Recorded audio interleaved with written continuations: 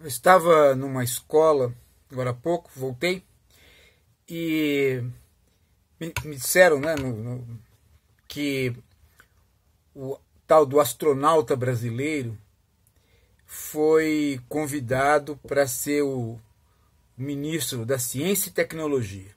Bem, cheguei em casa, fui tomar pé na situação e peguei logo de início um, um vídeo dele dando uma palestra e dizendo que ele havia recebido a notícia da confirmação do nome dele para ministro da Ciência e Tecnologia. E aí você espera, né, a atitude de um ministro. E eis que aparece uma mistura de pastor com algo meio que militar, né? que de fato ele é. Primeiro, fez uma, um, um estranho agradecimento a Deus, como se fosse predestinado, dizendo que Deus fez com que ele estivesse ali, naquele momento, para receber aquela notícia, porque aquele lugar era um lugar que ele gostava muito. Estranhíssimo, gente. Estranhíssimo. Né? É... Então, eu já, eu já estou, é, obviamente, escolado com esse tipo de coisa, né? Porque Malafaia dizendo que o Bolsonaro é escolhido, o Bolsonaro dizendo que, dado que ele foi escolhido, Deus vai lhe dar competência, agora o ministro também com essa história de que ele é predestinado para estar ali, receber a notícia ali naquele lugar, e foi Deus que o colocou ali para receber essa notícia no lugar que ele gosta. Bom, vai, tudo bem, vai, força de expressão, vamos deixar para lá. Foi força de expressão. Ah, mas o problema é que continuou. Né? Ele disse que vai dedicar a vida dele a isso, né? com disciplina, com afinco, e combater os inimigos internos e externos. Ele foi nomeado ministro da Ciência e da Tecnologia. Ele não foi nomeado ministro da Defesa. Ele é coronel, tudo bem, né? Mas será que nessa maldita escola de militares não se aprende outra coisa? Se não falar, repetir a doutrina da segurança nacional de 64? Que inimigo externo? E o que é pior, que inimigo interno? Nós não temos inimigos externos, meu caro. O Brasil tem relações exteriores de paz. Nós não encaramos nenhum, nenhum país como inimigo externo.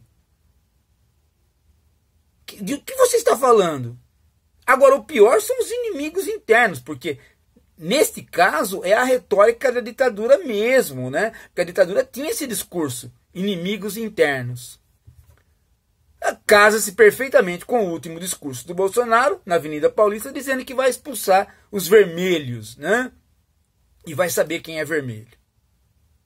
Que ele já pediu desculpa por esse discurso, mas já fez de novo.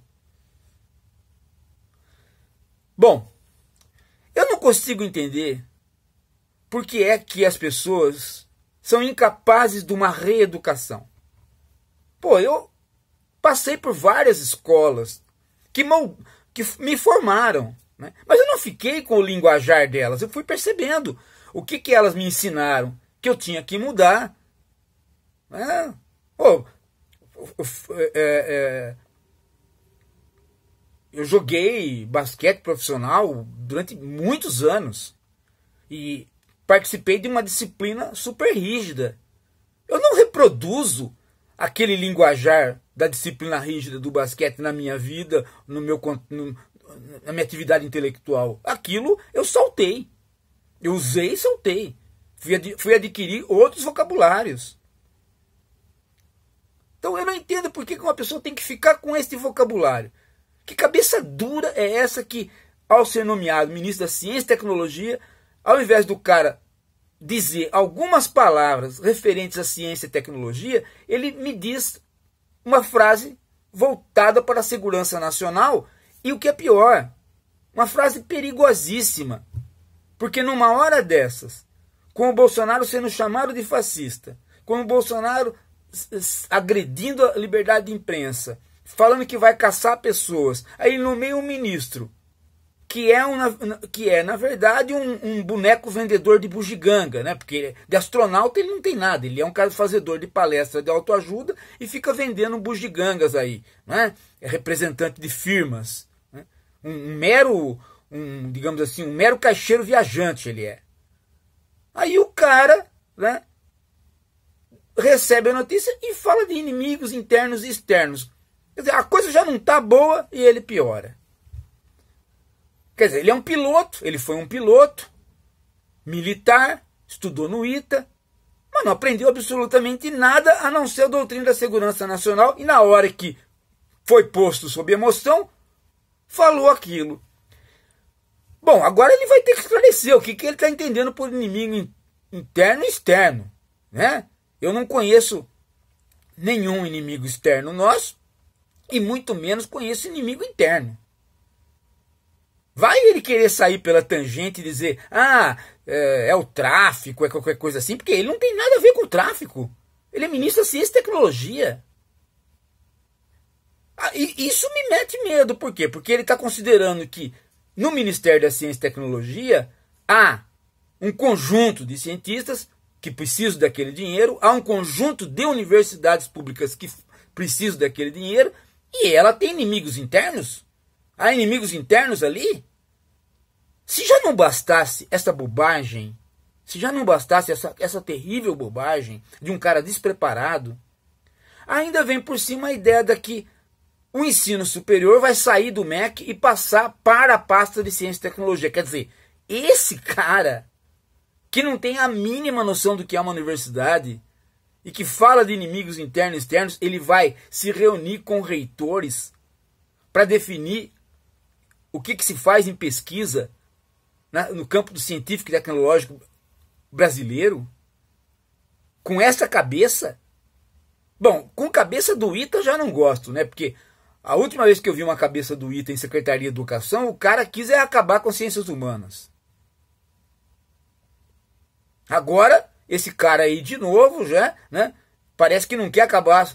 Não sei se vai acabar com ciências humanas, porque da área que ele veio já fiquei com o pé atrás. Agora, com esse discurso, o que, que esse cara vai. O que, que esse cara vai fazer né, para se relacionar com os reitores das universidades? Um cara que nunca esteve numa universidade. Ele é piloto, passou pelo ITA, aquilo não é uma universidade. Pode ser uma boa escola de matemática. né? Pode formar muitos bons calculadores ali. Né? Todos eles dispensáveis. Por quê? Porque a máquina calcular melhor do que eles. Engenheiros? Oh, então mostra cadê a engenharia, cadê a criação que eles fizeram. Né? Esse tipo de gente. Ele, na verdade, é um vendedor de bugiganga. Ele é um piloto que foi para o espaço aí pelo um convênio, né? É, voltou do espaço. Ah, sim. Ah, sim, pode ser. Ah, um, um, colega me mandou agora uma mensagem aqui dizendo: ele está pensando em homenzinhos verdes, em marcianos, ele está no espaço ainda e numa guerra sideral. É, deve ser, deve ser. Fica o dia inteiro no, no, no celular com aqueles joguinhos, né? Em jogo eletrônico, esse pessoal gosta muito disso, né? Esse pessoal da, da tecnologia gosta muito disso. Então tá imaginando coisas. Eu não sei, gente. Não sei, viu? Eu tô começando a ficar Agora já não mais com medo, agora já estou começando a achar que nós vamos passar vergonha com essas pessoas nesses ministérios. É isso, gente.